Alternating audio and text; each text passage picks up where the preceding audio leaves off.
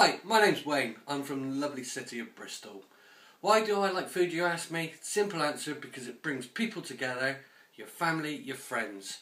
Uh, we live in a world today of gadgets and technology, but nothing beats staying at home and sitting together and having a beautiful home cooked meal. Okay, please vote for me so I can share my humour, my love, enthusiasm for cooking with the world.